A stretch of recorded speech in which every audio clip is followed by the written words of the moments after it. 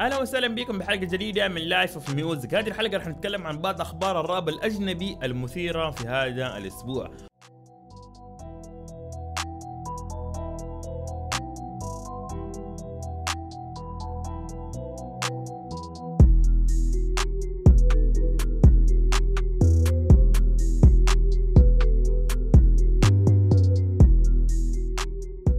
وقبل ما ندخل في الحلقة like subscribe انشر حق اصحابك شوف إنه محتوى يستاهل النشر. أول خبر معانا كوداك بلاك خرج من السجن.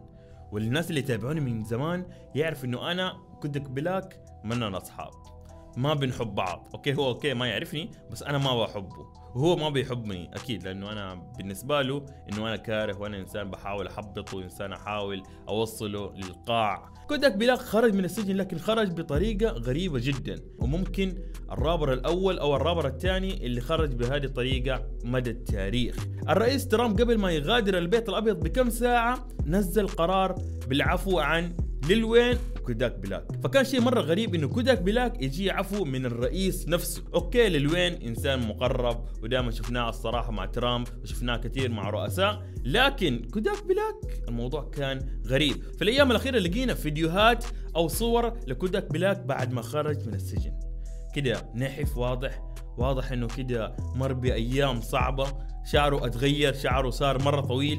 في بعض الناس بيحاولوا يقولوا إنه أوه أوه هذا مو كوداك بلاك كوداك بلاك نحن نعرفه إنسان سمين إنسان كوميدي.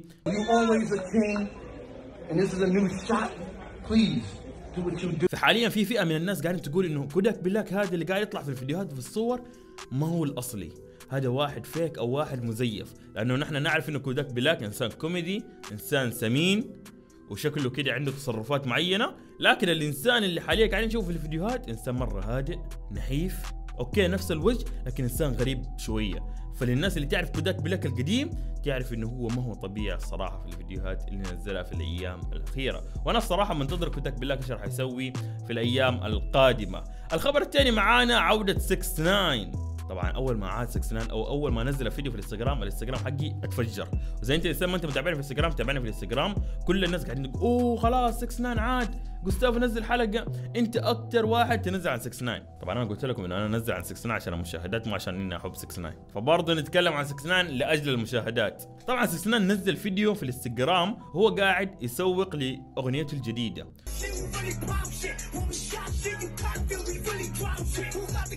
الفيديو كان فيه له أشياء غريبة وحاليا راح نتكلم عنها. واحد وشوم جديدة. طبعا 69 مو ناقص وشوم لكن مسوي وشوم جديدة بشكل بعض الناس عجبها بعض الناس ما عجبها لكن هذا الموضوع بسيط. الشيء الثاني 69 عنده لحية مرة طويلة.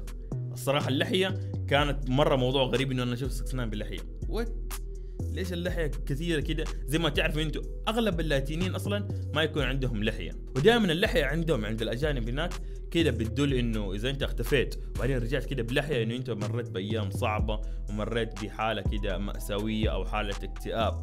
هل 69 مر بحالة اكتئاب؟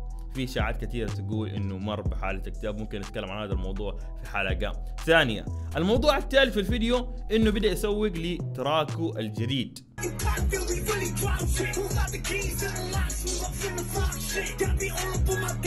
أنا منتظر من 69 تركاته الجديده ابى أشوف هل راح تنتشر زي تركاته القديمة اللي أول ما خرج من السجن ولا هذه كانت هبة بس وخلصت؟ يعني أنا شخصيا متوقع جدا إنه راح ينزل تراكات والتراكات حقته ما راح تجيب شيء. يعني okay ممكن تجيب أرقام عالية بس مو أرقام خرافية زي الفيديوهات اللي نزلها بعد ما خرج من السجن.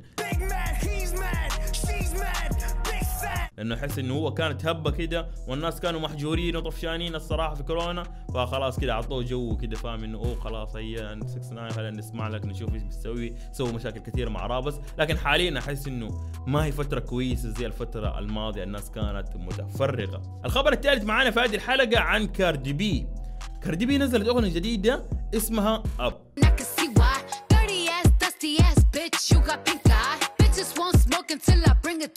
طبعا هذه الأغنية بعد نجاح أغنيتها الماضية مع ميغان وجابت جوائز كثير وانتشار مرة عالي اللي هي WAP.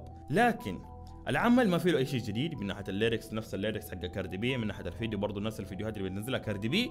لكن الجديد إنه كثير من الناس قاعدة تتهم كاردي بي حاليا إنه هي سرقت الأغنية. وعشان نكون واضحين سرقت مقطوعة من أغنية رابر مير فانتانا. طبعا الرابر خرج وقال إنه كاردي بي سرقتني وأنا أصلا مسوي العمل ده من زمان. فبحط لكم العملين واكتبوا لي تحت في الكومنتات هل كاردي بي حاولت تقلد هذا الرابر؟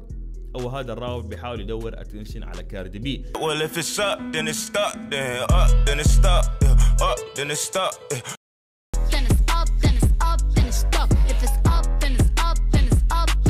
لكن كثير من الجمهور الناس اللي ما بتحب كاردي بي قاعد تقول إنه كاردي بي هذا الشيء مو جديد عليها إنه هي دائما تسرق فلوات وتسرق lyrics وتسرق أشياء مرة كثيرة حتى حركات في الفيديو كليبات. ففي جمهور حاليا مرة كبير قاعد يهاجم كاردي بي. وطبعا كاردي بي أي عمل بتنزله لازم يكون فيه هجوم لازم يكون كده في رأي عام وفي ناس تنتقدها وفي ناس معاها وفي كده مضاربات وكده attention الخبر الأخير معانا في هذه الحلقة عن ذا ويكند ذا ويكند أخيرا سوى العرض حقه حق السوبر بول لأنه هذا العرض أكثر عرض تقريبا جاته إشاعات في هذا العالم. من أكبر هذه الإشاعات اللي تقول إنه ذا ويكند ما ترشح للجرامي في الألبوم أو التراكات حقته عشان عرضهم في السوبر بول إنه هو فضلهم على الجرامي. وطبعا هذه الإشاعة مرة منتشرة حاليا وممكن هي ما هي إشاعة إلا أقرب للصواب إنه ما ترشح في الجرامي عشان عرض السوبر بول.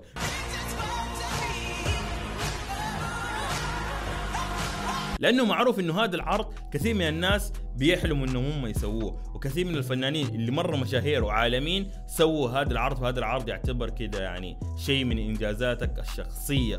لكن خلينا نتكلم عن العرض حق ذا ويكند العرض حق ذا ويكند هل كان أسطوري خرافي كده؟ أفضل من العروض السابقة؟ ما أتفق بكل صراحة. okay هو كان جميل وأحلى شيء الصراحة أنا عاجبني في ذا ويكند إنه هو مقتبس الشخصية حقت الألبوم حقه وقاعد يسويها في كل حفل في أي محل يطلع فيه فحس إنه في انتماء كده إنه هو قاعد يسوق للألبوم بطريقة كده طريقة ملتوية.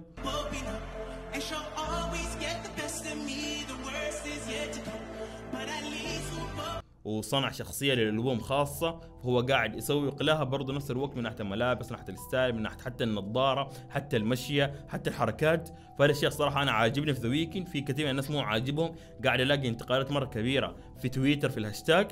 لكن أنا عاجبني هذا الشيء. لكن بصراحة كعرض كامل شايفه عرض عادي. عرض عادي كان متعوب عليه في بعض الأشياء. لكن بصراحة أنا شايفه عرض عادي.